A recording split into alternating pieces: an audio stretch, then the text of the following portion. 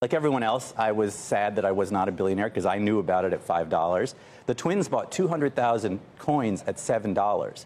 Um, and then they dove headlong in. So when it reached 10,000, they had $2 billion. Do they still have all 200? Uh, they are big believers in Bitcoin to 250,000. That's what they So say. they kept it? so they held on to, uh, I believe, most, if not all of it.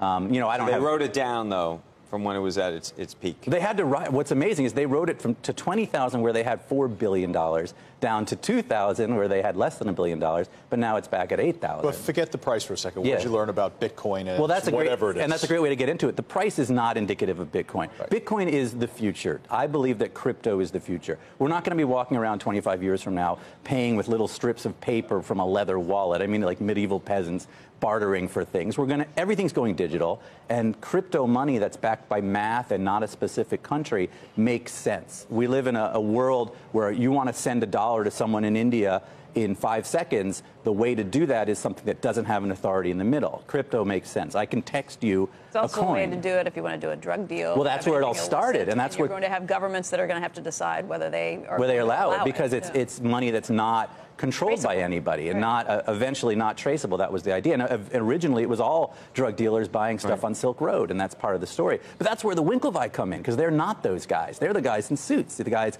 that Larry Summers wants to throw out of his office. They walk into this story and they see this world of drug dealers and gun people and all these people doing bad things with Bitcoin, and they say, well, let's try and make it a part of the New York financial system.